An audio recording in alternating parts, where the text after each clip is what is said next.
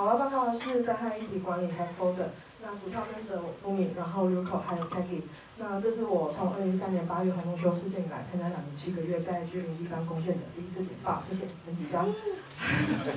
好，缘起就是就是这个讨论是从居民地后勤中心有一位陈怡秀的讨论，那就是因为台南大地震的关系，那卫福部的官方网站呢，自以为自己自己觉得这个配色不输给葫芦猴这样子。就是我心里的 OS，但是应该 Peggy 有就是更多见解，不好意思。好，那就照村长说的，开干前有事，我们来开一个 Hackpad 吧。那就是台湾官方的物资及自工审核平台待改进处。好，那这是就是我们在 Hackpad 上面汇报问题点，这七点呢主要都是陈怡秀提供的。那那时候我就注意到有这个 Rico 的留言，其实我那时候注意到很多政府跟相关执行单位人士的心声，就是他们，呃，就是其实他们有，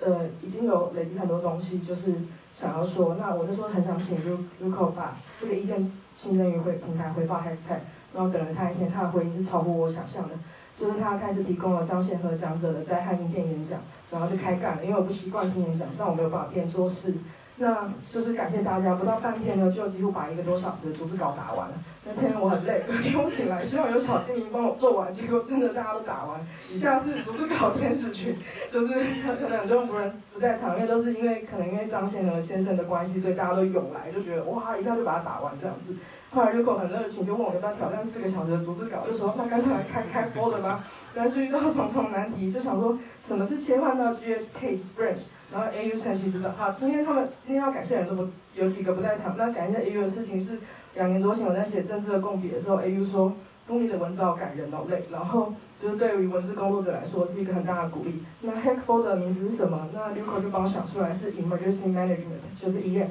然后就出现 ET Blue 的神奇指导。ET Blue 说，嗯，丰利有参与，只是要自己开一个 Hack Folder 页面，如果是这样，就不需要在 GitHub 上面 fork，只要做这个步骤就行了。然后想说好，等我两点。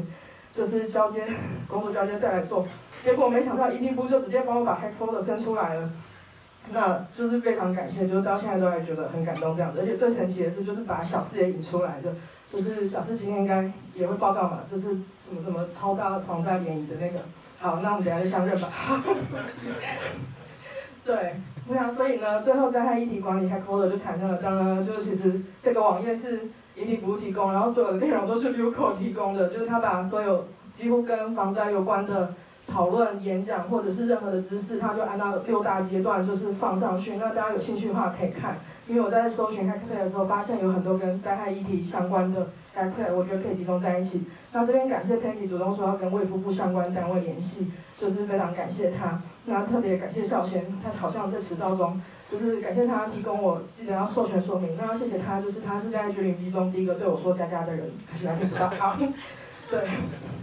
好，现况就是卫福部的重灾系统建议跟修改状况，那就是由 Peggy 跟卫福部的社公司正在联系修改处理中，大家也可以等一下点击那个 Hack Hack Folder 里面看，它在最下面就是 Peggy 已经有把已完成修改，然后上待修改或者是未完成的都有列列出来。那我做这个投影片的目的就是希望对这个议题相关。就是有研究投入热情的人一起认识，然后在这个版面上一起共笔在修 hack folder，像是 Rico Peggy、Michael Lee，我看就是 Michael Lee 也做了很多跟防灾有关的 hack plan，然后小四振兴，今天还有游婷婷，然后泽伟还有肖玉凯，就是也是跟防灾有关的，就希望大家互相认识一下，也是一个联谊。好，那过往就是有许多防灾相关的 hack plan，就希望大家可以一起汇入。那如果有灾难发生，我们随时可以都从这个 hack folder 去检讨回溯。那因为我技术层面是完全没有，然后也没有背景知识，就也有更不熟。那希望大家加入一起努力。那就是如果看到光的时候，我们就应该做一个事情。好，谢谢。